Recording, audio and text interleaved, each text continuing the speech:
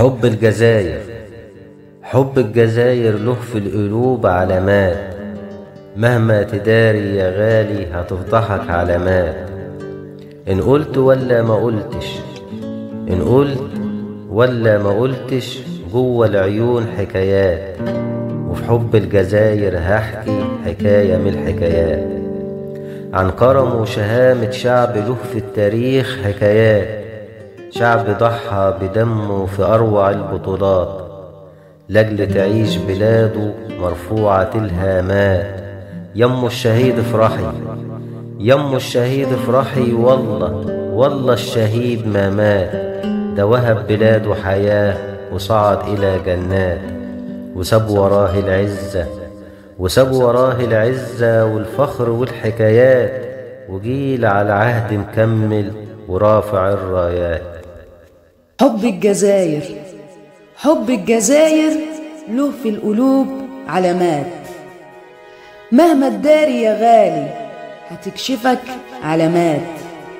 ده شعب حر أصيل ده شعب حر أصيل وله في التاريخ حكايات.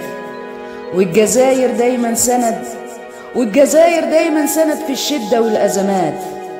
إن جار عليك الزمن تلاقيها في النكبات. حائط صد منيع حائط صد منيع ولها في التاريخ علامات. إن قلت ولا ما قلتش في كتب التاريخ حكايات. والصقر حر طريق ما توقفوش عقبات. عايش طريق في البر ما بيحسب الحسابات. الصقر حر طريق ما توقفوش عقبات. عايش طريق في البر ما بيحسب الحسابات. لا يهمه من اللي قال ولا تشغلوا الحوارات. لا يهمه من اللي قال ولا تشغلوا الحوارات. وإن يوم غلطت معاه حرص من النهايات حرص من النهايات. السلام عليكم ورحمة الله. في ذكرى انتصارات أكتوبر المجيدة نوجه التحية لروح شهدائنا الأبطال. وما ننساش ولا يجب أن ننسى كل الشهداء من الدول اللي شاركت معانا وكانت شريك معانا في حرب أكتوبر لأن حرب أكتوبر ما كانتش حرب شعب ولا حرب دولة. هي كانت حرب كرامة أمة ودول كتير شاركت معانا فيها. فبنوجه التحية لروح كل الشهداء اللي شاركوا معانا في في حرب تحرير سيناء حرب أكتوبر المجيدة. وطبعا بالمناسبة دي هفتكر إن إحنا قعدنا حوالي أكتر من 30 سنة ما كناش نعرف حاجة عن حرب أكتوبر أو نسمع تفاصيل عنها وكانت من المواضيع اللي هي يعني مغلفة ما حدش يعرف تفاصيل فيها. أكتر حاجة كنا نعرفها كانت الطلعة الجوية. والطلعة الجوية اللي فتحت باب الحرية كانت أغنية مألفها الشاعر عبد السلام أمين وكان ملحنها عمار الشريعي. فكانت كل سنة نسمع أول طلعة جوية. قال لي بعد الطلعة الجوية ما كناش نعرف حاجة تانية خالص. طبعا الطلعة الجوية اللي كان شارك فيها الرئيس حسني مبارك كان قائد كان طيار وقت الحرب وما كناش نعرف أي تفاصيل تانية. ما كانش فيه انترنت ما كانش فيه غير التلفزيون. والتلفزيون ما كانش بيذيع أي أخبار غير الطلعة الجوية ما كانش فيه طبعا لا مدرعات ولا ولا ولا مشاة ولا أي حاجة ولا تعرف أي حاجة غير الطلعة الجوية.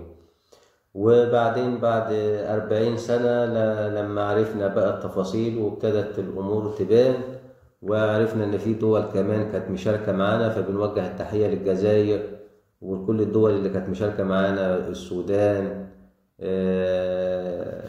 السعودية كانت لها مساهمات. دول كتيرة شاركت معانا يعني إحقاقا للحق. ذكر الدول دي كلها الرئيس عبد الفتاح السيسي في أول ما, ما تولى الحكم في مصر. ذكر كل الدول اللي شاركت معانا في حرب أكتوبر وحتى وجه الدعوة للرئيس البشير قبل قبل التنحي وجه له الدعوة وجاء مصر وكرم وخد قلادة النيل من أو وسام النيل من الدرجة الأولى. لأن ال- البشير كان وقتها كان ضابط في الجيش وكان موجود في الخطوط الأمامية في حرب أكتوبر مع مع فرقة من السودان حسب ما ذكر الرئيس عبد الفتاح السيسي وطبعا الراجل كان رئيس مخابرات حربية فعنده كل المعلومات. فإحنا هنا بنوجه التحية لكل الدول اللي شاركت معانا. ما ينفعش في مناسبة زي دي إن إحنا نحتفل بذكرى أكتوبر وننسى شهداء الجزائر وننسى الدول اللي وقفت معانا والدول اللي كانت مساهمة معانا واللي شاركت معانا. وبالمناسبة دي أنا كتبت حاجة اللي هي سمعتوها. فتعتبر قصيدة بالعامية دي هدية أو تحية لروح الشهداء سواء من الجزائر وكل الشهداء عامة بمناسبة آه، آه، بمناسبة احتفالات بذكرى أكتوبر. بشكر كمان الزوجة ديالي إن هي شاركتني في الإلقاء. لما لقيتني بسجل آه، قالت لي هجرب التسجيل معاك ولقيت إن يعني يعني في الإلقاء آه، يعني مميزة فخليتها شاركت معايا في الإلقاء وبشكركم كثيرا وإن شاء الله نتقابل في مرات قادمة بإذن الله والسلام عليكم ورحمة الله.